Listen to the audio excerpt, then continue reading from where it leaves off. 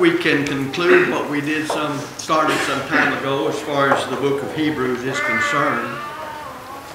I think you'll remember at that time that I said I was motivated to do what I've done in our study together from the book of Hebrews because of the typology theme that was that of the Bellview Lectures in Pensacola, Florida some weeks ago. And I might say in passing, but we still have some of those books, $5 a piece available, that I personally think out of all the years, as far as practical studies and rightly dividing or handling right the word of truth, is just excellent. That if you would like to have them, they are available. But in that, it makes you realize that when you go back and study the Old Testament, one of the great ways that God sent forth His message and still does in the New Testament is typology.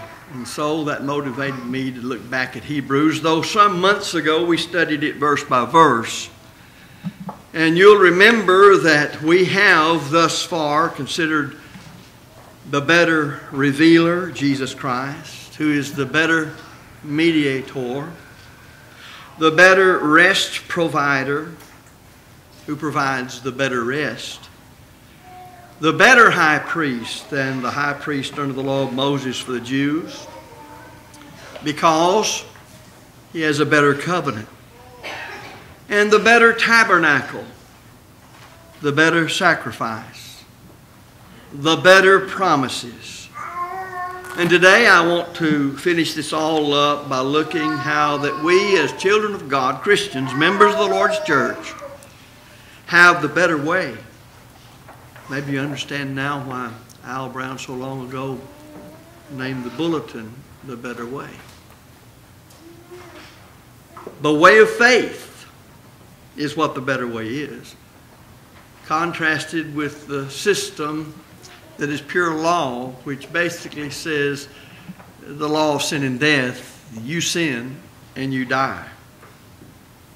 Doesn't mean that the law of Christ is not just that, the perfect law of liberty, James 1.25. The law of the Spirit of life in Christ Jesus hath made me free from the law of sin and death. But it means something that we fail to get sometimes concerning the design and purpose of the law of Moses for the Jews and the design and purpose of the New Testament system of salvation for every man until the end of time.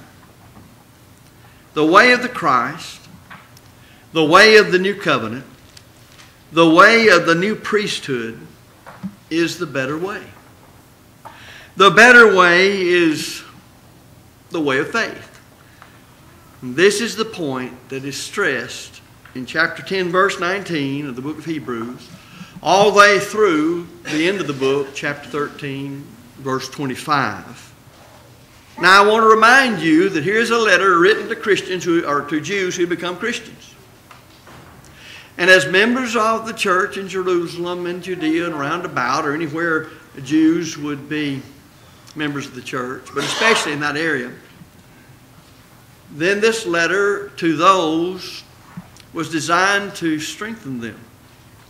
Strong rebukes are in this letter because you'll remember that the writer had said, when, by reason of time, you ought to be teachers, you have need that one teach you again of the first principles, the oracles of God. You're not able to handle strong meat. You have to be fed again the milk of the Word. Thus, they had had time, plenty of time, to be to where they knew the gospel well enough and the New Testament system to teach others, but they weren't able to do so. And this sure tells us a lot when he says that it's because you didn't use your time right. That implies God expects us as Christians to use our time right. And that ties back into Matthew 6, verse 33 But seek ye first the kingdom of God and his righteousness, and all these things shall be added unto you. And if that doesn't mean our use of time, then I don't know what it would mean. So he's concerned about these folks remaining faithful. We sang a while ago about loving one another. Well, his love for them was to show them their sins because in those sins they were practicing, they would not go to heaven. I cannot believe that somebody can say, I'm a child of God, I'm a Christian, one who is of Christ, a faithful member of the church that Jesus purchased with his blood, and I love my brethren, but I'm certainly not going to deal with their sins. No, you don't even love yourself, much less God or your brethren. Sin is the only thing that can separate us from God. Jesus solved the sin problem. And his power to save us from sin, he located in the gospel, Romans 1.16. Paul said, For I am not ashamed of the gospel of Christ. Well, you say, I'm not ashamed of the gospel of Christ. Oh, yeah, we really are. When we won't show what the gospel teaches to our brethren who are caught up in whatever sin they may be. When we have direct, explicit instruction, ye which are spiritual, restore such an one in the spirit of meekness, considering thyself, lest thou also be tempted. Now, that's what this writer of Hebrews is doing in writing part of the New Testament of Jesus Christ who showed us how to love each other and love all men. And so these who had heard the gospel sometime in their past had from the heart believed it and obeyed it. Now we're actually thinking about leaving the whole New Testament system due to persecution and privation that had come upon them because they were Christians and going back under the law of Moses. So as he concludes this great letter, and remember, most of the letters are written to Christians on being faithful once you become a Christian. In chapter 10, verses 19 through verse 39 of chapter 10, the inspired writer exhorts those addressed to be faithful. I want you to think about this for a minute because every sermon, if it's what it ought to be, is designed to exhort people to be faithful. To either teach them about what faith really is and what a saving faith is and what a dead faith is and what a weak faith is, what a strong faith is, what a living faith is. But in some way or the other, it's saying you must be faithful as the New Testament defines faithfulness or you will not go to heaven. And here are people who had made such a great step while they heard the truth and they believed it and they left what had been everything about them as a nation and had believed and obeyed the gospel. They were baptized into Christ. And now, due to persecution, they're actually thinking because they haven't grown spiritually, they haven't used their time to study their Bibles or to pray. I guess you'd say they were coasting Christians, and that's really an impossibility. And now they're actually falling away. So this letter is a letter of love to our brethren, confronting them with their sins. And one of them is, you haven't used your time right. If you were, you'd be teaching people rather than have to be taught. He says that because we have boldness as faithful children of God, and basing all of this as his last argument on all that has come before, and because we have this great high priest, Jesus Christ, over the house of God, the church, the family of God, here's what he says ought to be happening. Let us, number one, draw near. Draw near to God. I don't know how to do that, but to know more of my Bible and do all I can do, live it, to teach it, and to pray without ceasing in all things in prayer and supplication, make my request made known to God. To do whatever sacrifices must be done in my life in order to stay with the truth, regardless of what anybody else thinks about me. He says then also not only to draw near, but he says hold fast. How can you do them one without the other? To hold fast. You know, when, when you hold fast, you won't let go. You just won't let go. But they were letting go. But he says that the way of faith, the better way, means you won't let go. And that reminds us again of a most common passage in 1 Corinthians 15 58. Be steadfast, unmovable, always abounding in the work of the Lord. Knowing this, that your labor is not in vain, it's not pointless, it's not worthless. Where? In the Lord. Of course, Paul had written to the church in Ephesus saying in Ephesians 1 3 that all spiritual blessings in heavenly places are located somewhere in Christ. And in Galatians 3 26 and 27, we learn that upon our faith in Christ, we're baptized into Christ. So we can be in Christ. So we can enjoy all the spiritual blessings that are in heavenly places that God's located there. Hold fast to these things and all that that implies. And number three, consider one another. What? Oh, it's got kind of personal now. You know, to put it bluntly, our inclination is I don't really give a hoot and a guinea about my brethren a lot of times as to what they do. I don't want to get too close to you, Jess. Either one of you, however you spell your name. I don't want to get too close to you, Eric or Danny. And I really don't want you to get very close to me because that means I get mixed up in your life. It means I've got to get so close to you as a brother and sister in the family of God that I have to learn your needs and your shortcomings. And above all, you may learn my shortcomings. You ever wondered when you come down to the teaching of the Bible on those who will be good shepherds and all that shepherding means as elders, why that the church is admonished to know them that labor among you? And on the other hand, the elders and shepherds doing the work of shepherds and all that that implies, they're to know the members. Consider one another. Well, how is it we can pray so much to love one another and sing songs about loving one another and helping one another and pray about each other and all that? And I end up knowing something about one another that other people don't know. And that doesn't mean your life is an open book and all your private affairs to all there is, but as far as your spirituality is concerned, we need to be considering one another every day. Now, in this connection, the inspired writer stresses the importance, and we might wonder about this, but he stresses, he emphasizes, he bears down on the importance of assemblies, of what we shall call assemblies of exhortation. These assemblies of exhortation provide exhortation because of what goes on in those assemblies that each member of those assemblies are doing. And all you have to do is think about what we've done thus far. Gathered here by the authority of Christ on the first day of the week, and in this gathering, this assembly, acting upon the authority of His Word to do praise and honor to Him. That's why we're here, not to praise each other. Yet the fallout of it, if you want to call it that, is that by our singing these songs of hymns and praise, songs, with the right attitude of heart, directing that worship to God, praying to God as the Bible teaches us to pray, giving of our means that we planned on doing and intended to do, and then even prepared to study the Bible and so forth. Observing the Lord's Supper, showing forth his death till he come again by partaking of the bread in memory of the body offered on Calvary's tree, and partaking of the fruit of the vine, remembering the blood shed for the remission of sins. You see, all of that when we participate in writing, you have to be taught correctly, don't you, to participate correctly. All that serves to exhort me to be faithful in the coming week. All that serves to exhort me to study my Bible, to pray, to be mindful of the sick and the afflicted and the orphans and the widows, because I'm to practice pure and undefiled religion. Each member of the church is. And when each member does it, all are doing it. All can't do it unless each one does. James 1.27. And to keep myself unspotted from the world, and you have to study the New Testament to see all that that involves. Christians are not known for lying.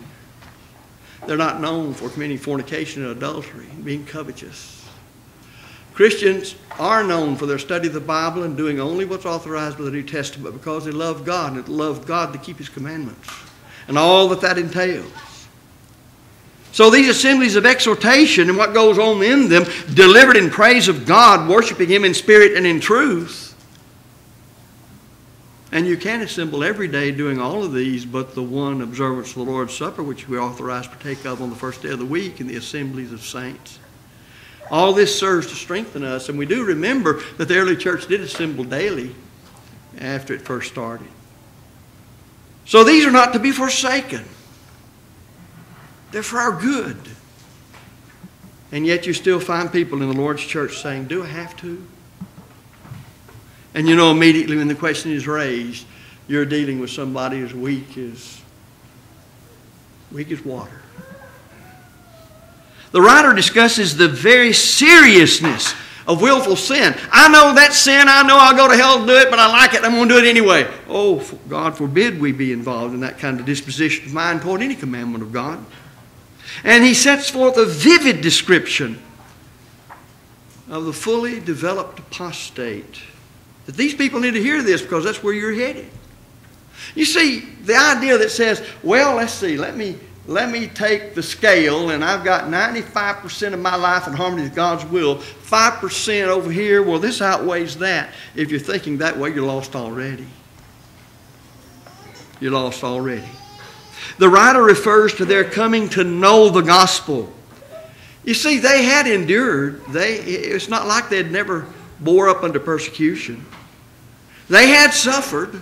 He reminds them of these things. They had had concern for others, and they certainly had possessed, because of that faithfulness, their marvelous expectation of heaven when they died.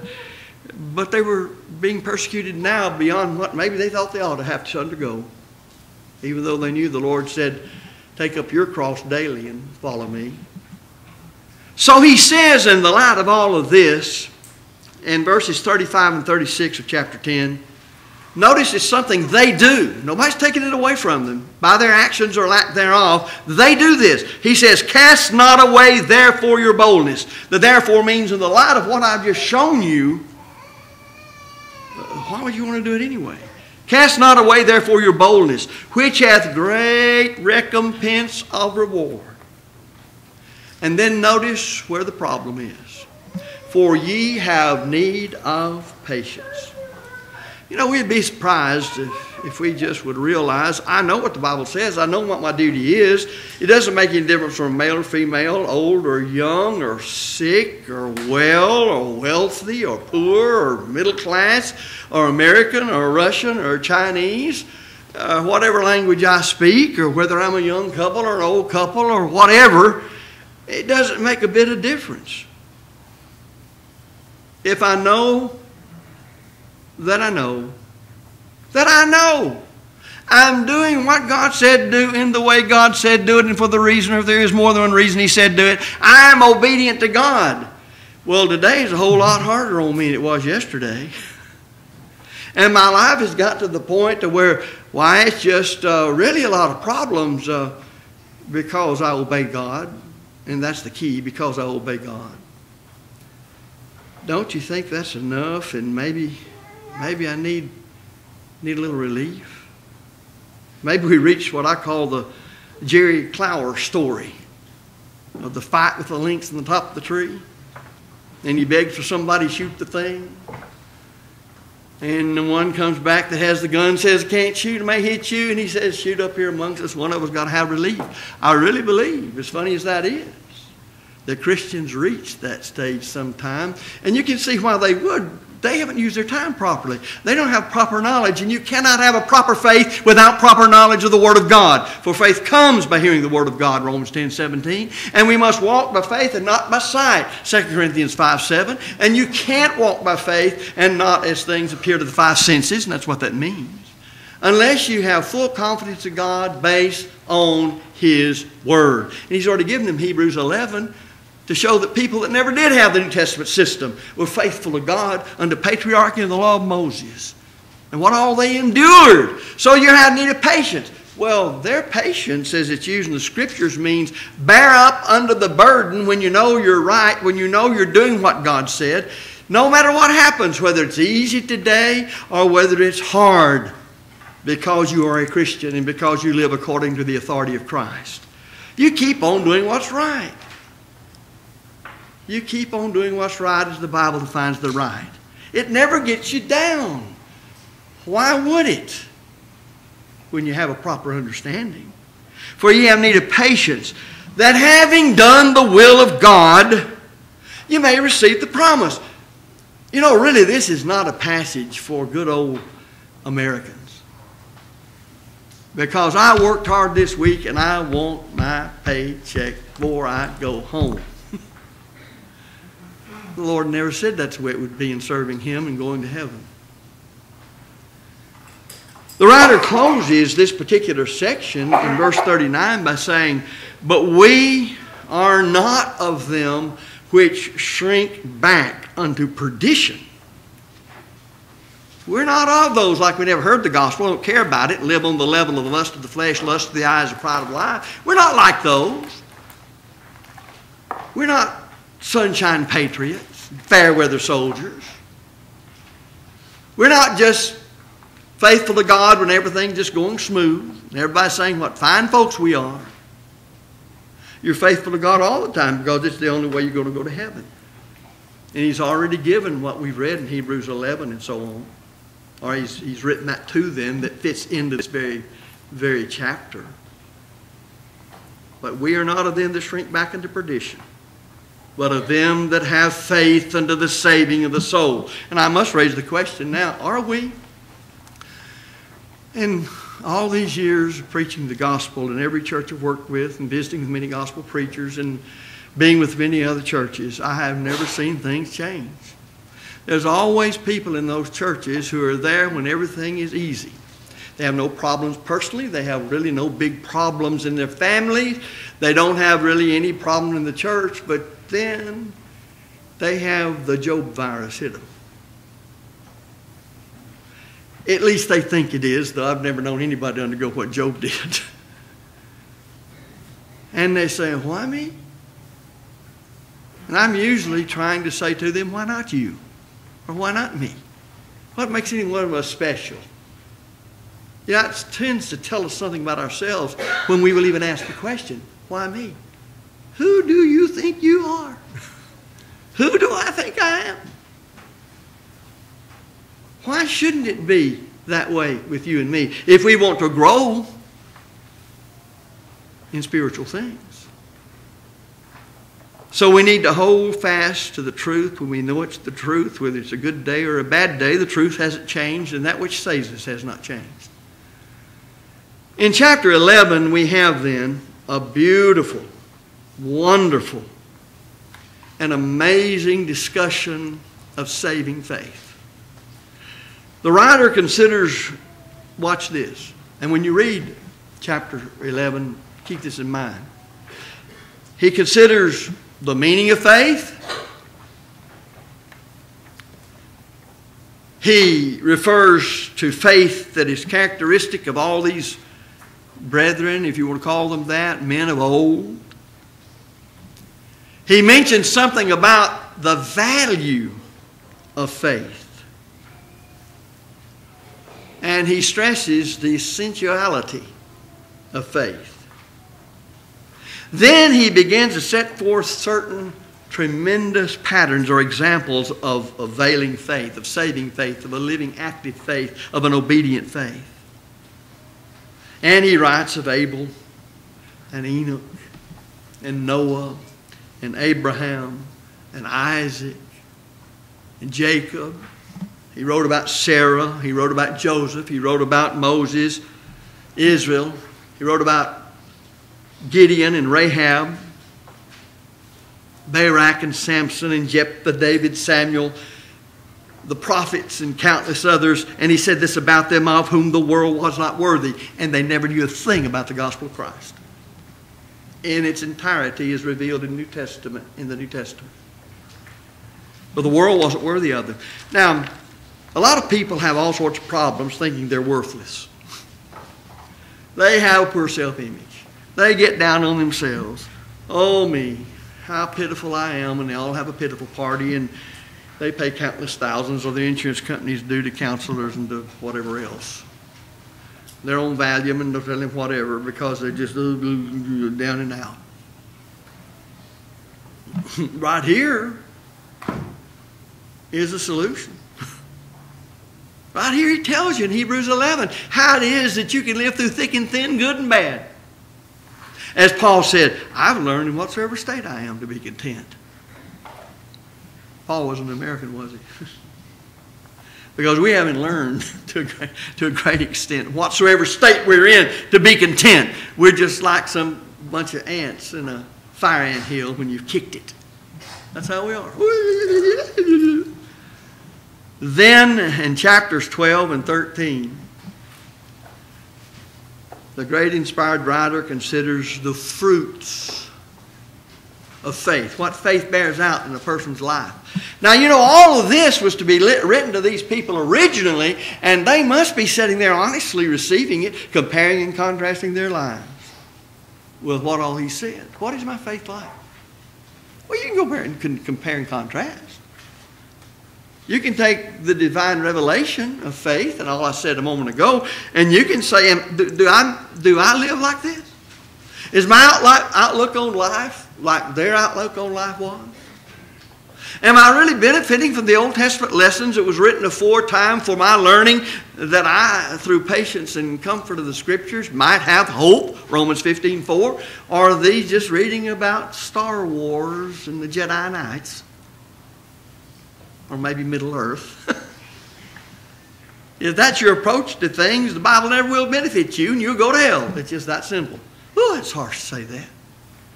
Well, where are most people going to go who are accountable to God? Most of them going to go to heaven. Show me a passage in the Bible, Old or New Testament, that says most people who have ever lived on this earth that are accountable to God are all headed for heaven. It's right the opposite, isn't it? That very, very, very, very, very few, few, few people will receive with meekness the engrafted word and will be steadfast all through their lives and be faithful, even if it costs them their life, to receive the crown of of righteousness, the crown of life, Romans, or rather Revelation 2.10. So in chapters 12 and 13, we have the fruits of faith. We list these as follows. Endurance. How much of that do you see around you? Just endure. Well, it hurts. So you walk off and leave it.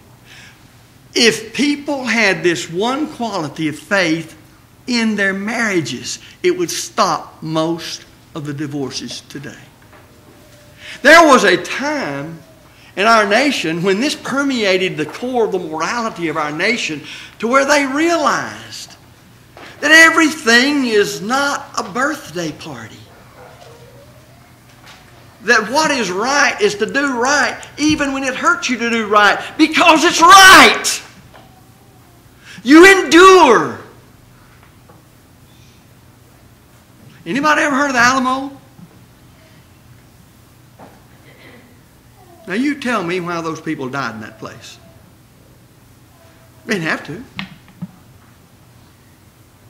They could have left.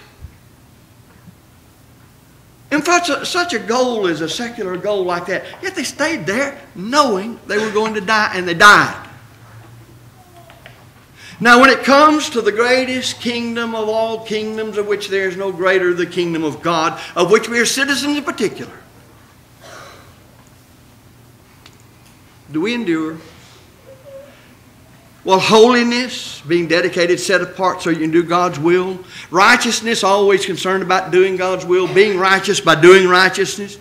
Peace, not the peace of the world, but the peace that knows you're at peace with God through faithful obedience to God. Sanctification, by all of this, we're set apart. We're suitable for the Master's service. We're not like the world. We don't live on the level of the world. And then the blessings, the great privileges of being a child of God, a citizen of the kingdom of heaven, a member of the church. There are not many of them around. And then the responsibilities. Oh, that's another story the responsibilities, the discharging of our obligations from which, of which we learn in the New Testament, of being members of the church of our Lord, which he says is the kingdom which cannot be shaken. Now, what kingdom or government among men cannot be shaken? But the kingdom of heaven cannot be shaken.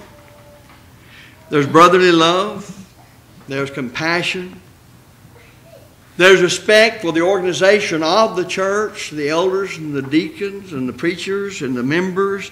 There's respect and love for the truth that sets us free, which means the study of it, the living with it, the meditating on it. There's the scriptural praise of God and the prayerfulness and the perfection in every good thing and obedience always. For let us hear the conclusion of the whole matter fear God and keep his commandments, for this is the whole duty of man.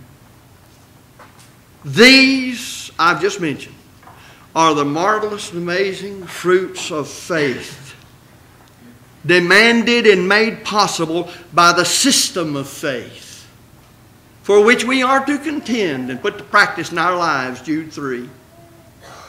Now you can see why he ends here. Because everything that we mentioned, that we've studied in this brief study, has led us to that very point. Without the system of faith that is the New Testament system, the perfect law of liberty, none of these things are possible. And we have them. We dare not let them go. This is the way to heaven. This is the straight and narrow way. This is the way that Jesus said one must believe and walk in to get to heaven. You know, it's interesting that God never did say in solving the sin problem and make it possible for us to go to heaven. Well, let's see. This is just kind of hard on them right here. I think I'll let up on it. So we make when we, when we sit down heaven here at the great planning table and plan out how we're going to save them. Well, this just seems a little tough. So let's lighten up here. That's not the way he did it. He said, This is the way, the only way, and if you will not enter this way, you won't get there. It has to be this way. There's no deviation of it. And we sing the old song, The Way of the Cross leads home. And Jesus said, You take up your cross daily and follow me. The rejoicing comes later, but there's a rejoicing now that says I'm reconciled to God. He hears my prayers. He'll see me through. Well, but you don't understand how He's going to do it every day. I don't have to. He tells me to be faithful to Him, and everything else works. He's taking God at His word. And we need to learn that. These folks hadn't. They had not spent their time studying the Bible. They had lost what they had. And now you see where that leads. We'll just give up the whole New Testament system and go out here with our fleshly brethren and go back to the easy way. Everybody around us is keeping the law and they don't like us anyway. We've had trouble all this. After all, we once approached God under the law and that was acceptable. Why can't we still do it? Well, if they had spent their time in studying the Scriptures, they would know such things as Paul wrote to the Galatians, saying, Whosoever you are that are justified by the law, ye are fallen from grace. They would know those things. They would know what he had to write to them in Hebrews. They would know the application of the Old Testament to the New Testament. But they didn't. They were too busy in something that I'm sure they thought was very important. But they were negligent. Clearly, it's the case that Christians have the better way. Let's rehearse and then close the lesson. First of all, the better revealer. Next of all, the better mediator. The better rest provider.